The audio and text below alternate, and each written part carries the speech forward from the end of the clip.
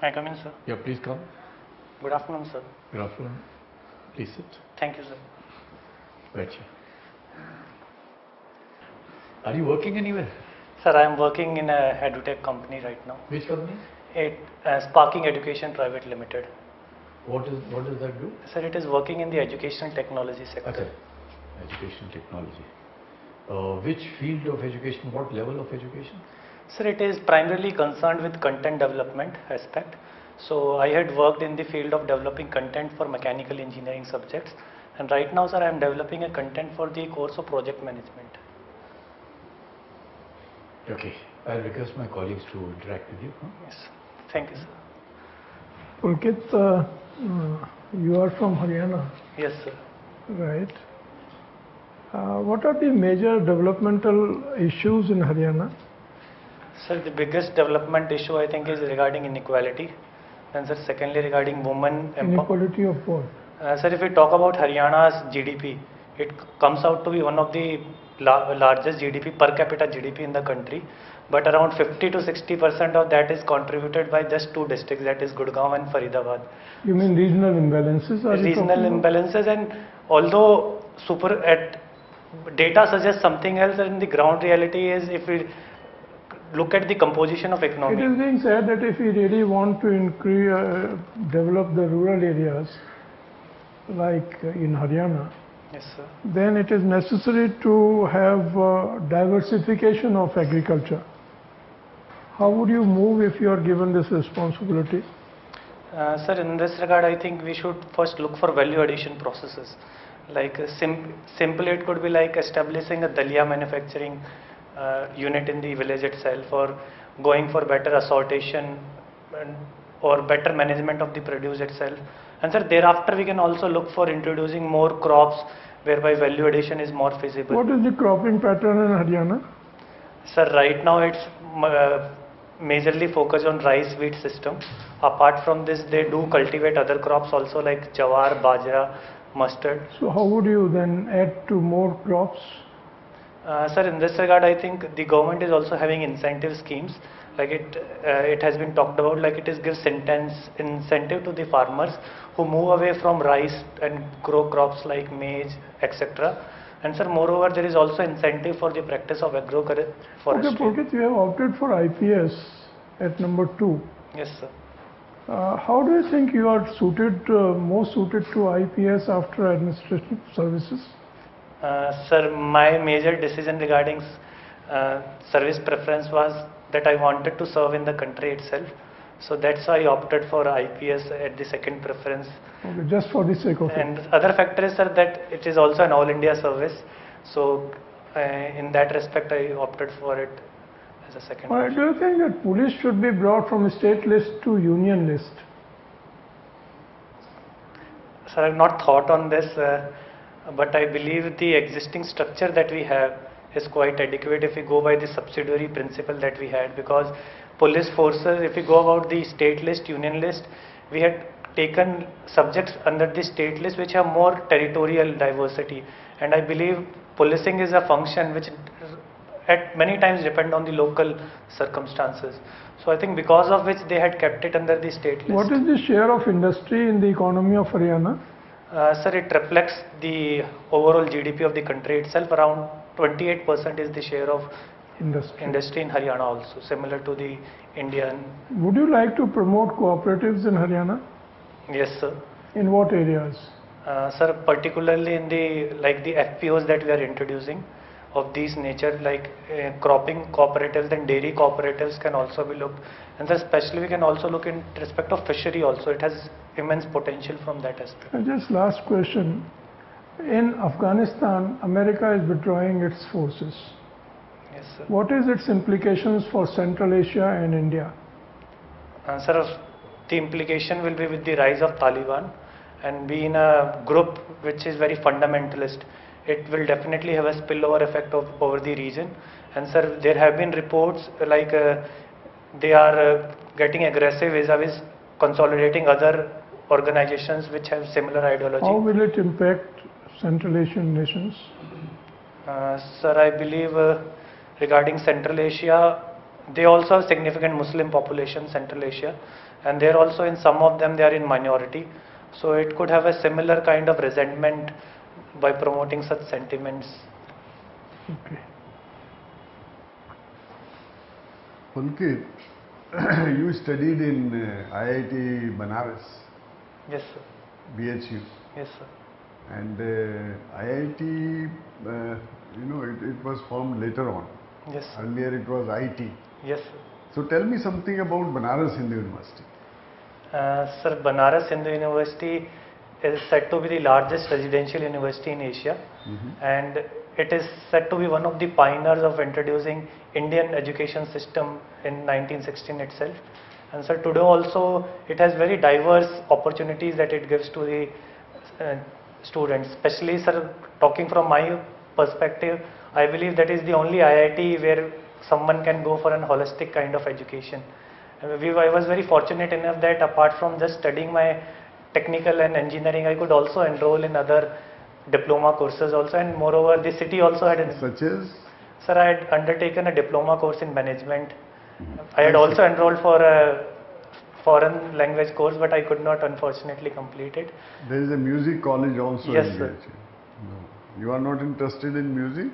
Uh, sir, I was more inclined towards sports, Okay. so I had devoted more time in the field. So tell me more about Banaras. I mean, how you like the city and uh, something important, peculiar about Kashi. Sir, Banaras, uh, as the tradition says, some even believe that it is older than even the civilization. And sir, uh, its heritage and the culture it offers to people, it's, I think, unparalleled to any other city. And sir, talking about some distinct features, there is like the Banarsi Masti is very famous there. And it is also said it is the only place where even one celebrates even his death because of the auspicious it is associated with the Hindu tradition. What is about Banarsi Pan? Yes, sir. Banarsi Pan also, it's a very renowned commodity that people have. Anything medicinal value about Pan?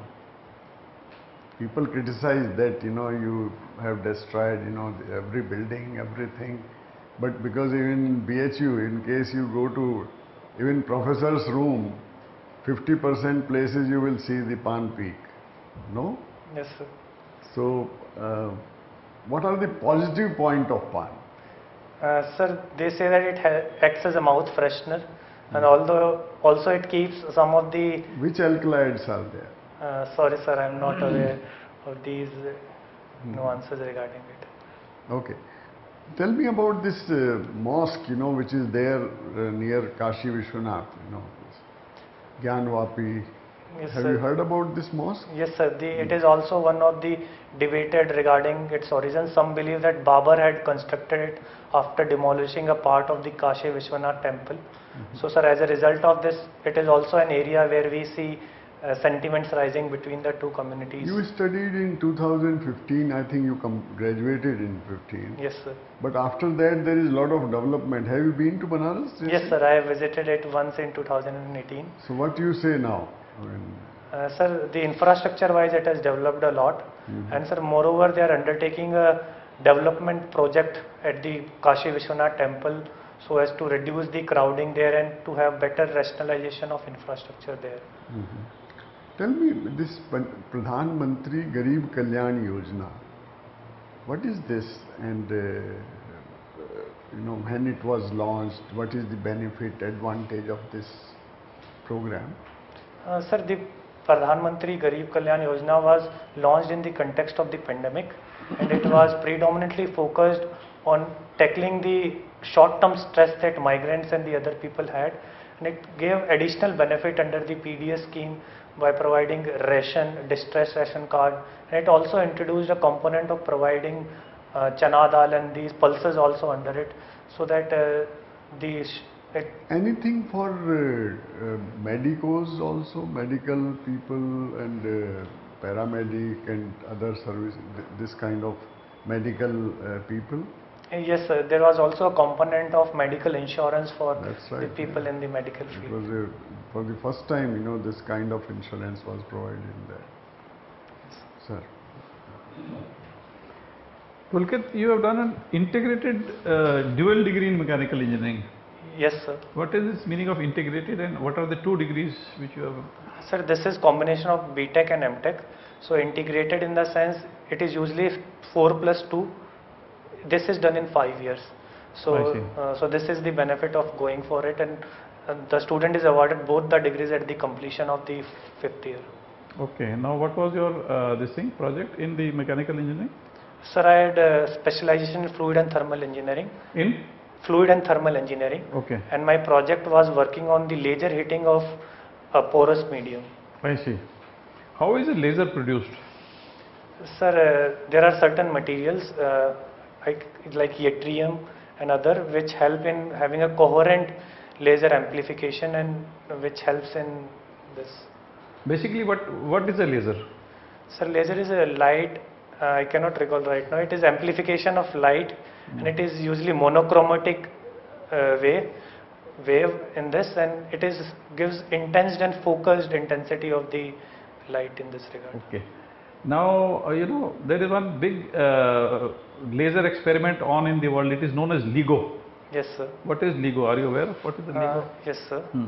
Sir, it is uh, reg- concerned regarding the identification of, I think, gravitation uh, waves, and this is uh, work on the principle of interference. And sir, this LIGO stands for? uh, laser interferometer, sir, gravitational observatory, something like Very this. good. Very good. I cannot recall exactly. No, that's fine. That, that is good.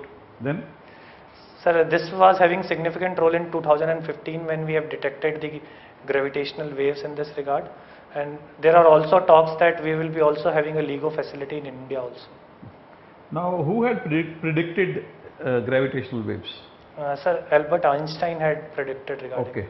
And then how did we how did we uh, check them? Sir, the How did we measure them? uh, sir, the device uh, works on the principle of interference. Okay. I think there are two elements in that which are at 90 degree Okay. and it is very difficult to measure them. Hmm. So as a result of this, uh, I think I don't recall, cannot recall the dimensions of this Mhm. um, instrument. Hmm. And it was uh, one of the very few instances where we have been able to record this. And what what caused these gravitational waves? Uh, sir, it is believed that at times the formation of black holes or massive events in the universe leads to this. Hmm. So remnants of these incidents can be recorded by this. Okay. Now, as a mechanical engineer, what do you understand by this term known as circular economy? Sir, uh, for me circular economy is kind of recycling process Mhm. whereby I will be using my products again so I can have enhanced value of the product Mhm. before it is ending its life. Okay. Now, you know, we we generate a lot lot of waste in our various activities. Yes. Huh? Now, is it possible to extract energy out of our waste? Yes, sir. Mm, What waste and what type of energy? Sir, depending on the waste, like if it is biodegradable waste, we Hmm. can use the biogas plants. Mhm. Sir, even for non, uh, even for other waste, we can always go for biogas waste to waste to energy plants, whereby we go for incineration or other processes whereby we can extract the calorific value of those particular Mhm. waste products. Now, incineration plants have a, have a very big drawback. What is the drawback? Mm, sir, because the pollution that they cause, Uh, Pollution is in what form? uh, sir, emission of gases. Which gases? Sir, I believe uh, it depends on the component. I believe it can cause the carbon dioxide, uh, even NOx, uh, nitrogen oxide, sulfur oxides can also be emitted. And But what is what is the gas of our interest? What we are trying to extract for energy? sir, for energy, we look for uh, the exothermic reaction in this regard. No, what is the gas? What is the gas? Like you are saying? Uh, We sorry, are, sir. we are biodegradable biogas. What is biogas? Sir, in that uh, methane we look for, even carbon dioxide can also be utilized. Now, what is this concept of Internet of Things? Sir, it is a concept whereby we look for connecting our devices Huh? uh, with the physical system so that Hmm. we can have a kind of communication between the devices as well as with the human interface. Have you started using it in, in any way? Uh, yes, sir, we are using it. Where? Uh, like, sir, some of the households are using it, Mhm. uh, whereby they are using in the form of using their appliances, Hmm. when to turn out, when to turn it off. Hmm. And sir, apart from this, even we can see in the cyber physical systems also there is an element of Internet of Things. Now, in this uh, area of uh, Internet of Things, there is a big question of privacy. You know, last month uh, this Google people went in front of a, par- a parliamentary committee and they said that uh, you know they have this uh, artificial intelligence device Alexa. They said that we are listening to whatever is being spoken in your house. So, what, what, what are your views on this? Yes, sir. Definitely, cyber security and privacy are do challenge in this regard. Hmm. And sir, but I believe if by have we have proper regulation and if steps are taken to curb these kind of instances, Hmm. and if we can also have the Data Protection Act, Hmm. so I think we will be having a legislation on this regard and it can be tackled. Sir, because sciences historically we have seen that it always had two-faced uses. A- Any kind of science, it always had benefit as it was always a challenge to the society. So if we can have proceed on this regard, I think this can also be tackled. Good, thank you. Pulkit, laser, light amplification by the stimulated emission of radiation. Is that what you're looking for? Yes, sir, I could not Yeah. recall it. Stimulated by what? As sir stimulated, I think the, Ah, Uh, where, why I think it's your area? uh, sir, uh, there is, I think, transition in the, uh, uh, No, tell me if you're definite. If you're thinking, then Sir, I'm, I'm trying to recall it. Uh, Okay. All right, I think about it later. We'll come to it. You have worked in uh, BHU, that's Eastern UP. Eastern UP and west part of uh, Western Bihar, Jharkhand, whatever, they are all basically having the same type of issues. Haryana contiguous states are, which are the contiguous states of Haryana? Nearby states. Sir, Punjab, Rajasthan, then Uttar Pradesh. So which of them have the same as Haryana, same issues as Haryana? Uh, sir, Social and uh, economic. Let's take these two fields. Uh, Sir, the eastern part of Rajasthan, the Jhunjhunu and Churu area has some similar issues. Then sir, western UP, particularly the Saharanpur area and these, they have some kind of issues similar to Okay. Haryana. So now compare Eastern UP and uh, Bihar and these areas. What are the difference in their social and economic indicators? Uh, Two, sir, three only. uh, sir, in social indicators, uh, firstly in economic indicators, uh, the per capita income on the Haryana and the surrounding area is more vis-a-vis those areas. Okay. Sir, regarding the social indicators, the health facilities are better in this area because of its vicinity to the capital. Mhm. Vis-a-vis those areas, I think there are very few tertiary hospitals Okay. in that Next. sector. Yeah. Next. Uh, But sir, uh, one thing is to be highlighted that although we see them more on the economic growth, the western part of UP and Haryana, but sir, unfortunately they have not seen the kind of social transformation that we would have wanted for a area having this kind of economic development. Which particular aspect are you thinking of when you say social transformation? Uh, sir, primarily the gender rights Alright. and uh, apart from this also the inequality and the prospect of income for the farmers in this regard. Now, a whole lot of labor migrates from the areas of east to these western areas. You are aware of that? Yes, sir. Okay. So, to get over the fact that they are not getting food grains, we have introduced this system of one nation, one ration card. Yes, sir. Have all the states in the country, one nation, implemented this? Uh, The name of the scheme is One Nation. Yes, sir. Uh, barring, I think, three, four states, I cannot recall right now, most of them have uh, gone for this uh, scheme. And it's a good scheme. Yes, sir. You can draw your ration anywhere. Yes, sir. Why don't we have the same system in the case of uh, voting rights for this migrant labor? Sir, I believe uh, Election Commission has introduced this particular thing that they can go for change of No, their... why can't we have the same smart card? Sir, uh, What has the election commission introduced? Sir, if I can recall, when we were in college, they had given us option that those who want to um, cast their vote in Varanasi, they can go and update their present address. And it is this facility is even provided on one to go and do it on the internet Yes, itself. I, I was speaking of labor which has gone from say eastern UP all the way to Punjab and Haryana during the cropping season. Election is taking place. For some local one MLA seat, by election is taking place. Why can't this person vote from Punjab or Haryana or wherever he is uh, working in the fields? Uh, sir, I think in that case there What are is the more chances of miss. No, what is the difference between this one nation, one ration card You have easily introduced something, Yes, easily because technology is now more readily available, and introduce the same system on the voting side. Uh, sir, for voting, I think the difference will be that is about a political right, and this is about an socio-economic benefit. What's the difference, political right? Uh, sir, in that case, I think uh, when we do this uh, scenario, there are more chances of misusing the system, and that will be having. That's misuse. Suppose I say that it is more to do with that you have to be locally resident to be able to elect someone who's going to represent you in that from that area. So you need to be resident. How would you react to that? Sir, that's very true. Uh, in fact, that should be one of the major criteria. You agree with it, but then I'll put a counter to you. Yes, sir. And the counter is this is only migrant labor. Ultimately, it's going to go back to Yes. Eastern UP. Yes, sir. So that problem is also overcome. Yes, sir. Then why is it that the election commission doesn't think of the same smart card system? Technology exists for many years, but now it is more readily available, making it easier to introduce such things. Uh, Sir, uh, I have not thought on this, but I think uh, th- I find that there could be more chances of misuse in this regard. And So you can misuse a ration card also, there will be huge amount of leakages. The issue is the same. If it is misuse, it is misuse as a matter of principle.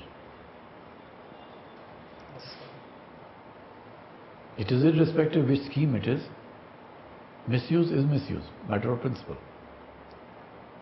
Think about it. Last point, sports. You said you were interested in sports. yes, sir. You're from Haryana? yes, sir. Haryana, it came out in the papers. Haryana and Punjab, it was said account for 4% of the country's population, but have accounted for 40% of our contingent in the Olympics. What's so special about people from Haryana and Punjab, and what's lacking in the other states? Uh, Sir, first highlighting the positive aspects in these two states. First, I find they they have immense importance regarding their nutrition. And sir, moreover, they are, Other states don't have. uh, sir, they do have, but here the component of dairy product is very. So why can't we introduce that? After all, there's an entire ministry devoted to promotion of sports. yes, sir, And every state also has departments exclusively for sports people. yes, sir. Uh, sir, my second point here will be like sports, uh, it is also reflective of the health standards and the educational awareness. Why can't we do anything? I mean, other people are also healthy. Delhiites are healthy, healthy people. Definitely, sir. Uh, I think for doing it, we can definitely do. But So- I'm trying so to decipher. Happens? Why can't we win any medals? Sir, No, huge contingents go and we come back cutting a sorry figure. Yes, sir. There are various factors in this regard, sir. I am trying to look it from that aspect. Tell me just one or two. This is my last question. Yes, uh, sir. These factors will be like uh, the infrastructure facilities here are not as good as the other athletes that are able to avail, particularly the European and American athletes. Then, sir, secondly, the culture here. It's very sad that we talk about these things only when we have these kind of events. Otherwise, we do not have much focus on Understood. this. Pulkit, understood. Your formal interview is over. Just please give us a minute. We'll call you back. Okay? Thank you, sir. Yeah.